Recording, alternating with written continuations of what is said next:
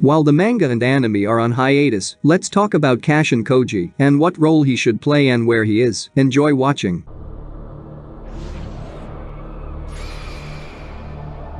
I think it's no secret to many that Kashin Koji is a clone of the legendary Jiraiya, a man who was not just a teacher to Naruto, he was his family, and in the battle against Ishiki, for which Koji was created, he practically repeated the fate of Jiraiya. However, his fate was supposed to be different thanks to which he managed to escape, and since that time, nothing more is known about him. According to Amado's words and behavior, it was clear that he did not care about Koji, and he hoped that he would be able to defeat Jigen and die after this battle, and Naruto and Sasuke will just finish off Ishiki. But, unfortunately for Amado, things didn't go as planned and Kashin Koji escaped. But where is he and what happened to him? We saw that Kashin was worried that the motto was able to disable the cyborgs he created. The man wondered if he also had such a function. Judging by the fact that Delta and Kawaki himself, who is Ishiki's vessel, have this function, it is quite logical that Koji can be disabled by voice command. This means that all Amado cyborgs have this function, which makes the scientist not as simple as we think. And maybe he can also turn off Code, Daemon, and Eida. Everything they do is in his favor. Therefore, he does not use this trump card, so, I think that, in the future, we will see the true face of Amado. Well, as for Kashin Koji, I have a few guesses. The first is that he will return to Amado himself and he can send him to hunt down Boruto, and the second, as for me more interesting, is that, after the wounds received in the battle, Orochimaru found him, and already he will help the man recover. Since Koji was injured in the battle, and the only one, besides Amado, who is able to restore the clone's body is Orochimaru, it's possible that Koji would contact him himself or had already done so in the hope that he would help him. Such an outcome would help reveal both Orochimaru and what he has been doing all this time and also who Mitsuki really is. Since the serpent creates the same clones as Amado, it is unknown if Eida's technique that make Boruto an enemy for everyone worked on Orochimaru and this also can be revealed due to the fact that Koji will be with the serpent. I'm sure Sasuke, after leaving the village with Boruto, will visit Orochimaru one way or another where they can meet Kashin Koji who can can also go on a journey with them.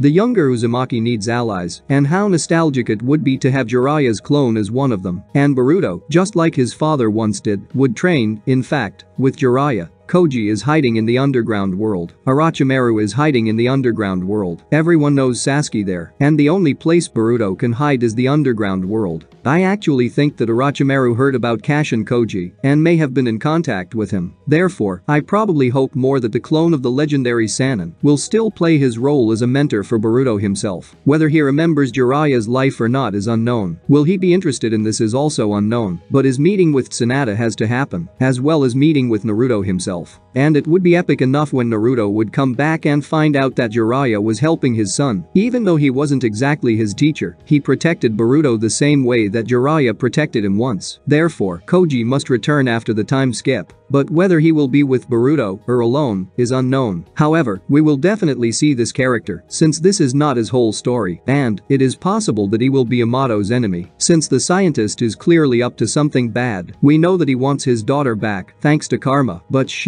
in fact, will become Otsutsuki and will be immortal. This means that this is what he may want for himself. I already made a video about the scientist taking Shibai's body for himself. The link will be in the description and in the end screen of the video. That's why I don't believe Kashin Koji just disappeared, and I do not want to believe that he will continue to obey Amado. Koji has a unique Sannin life and is somehow connected to Mount Myoboku or some other mountain. All this needs to be revealed. Amado needs his opponent. Besides, Orochimaru should reveal himself.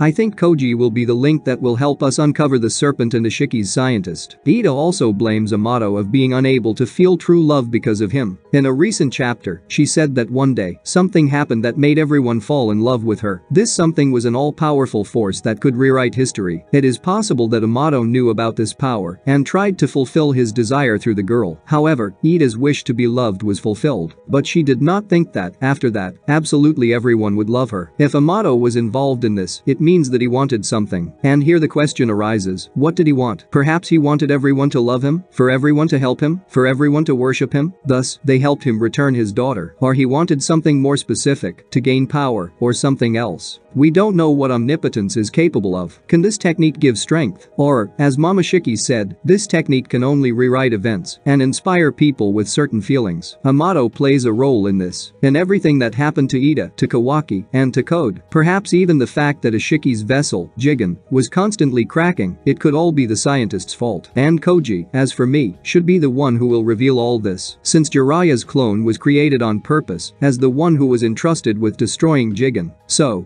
Koji could know a lot of Amado's secrets. Therefore, now he is either repairing wounds on Mount Myoboku or on some other mountain or he is with Orochimaru. Write your opinion in the comments. Good luck to all.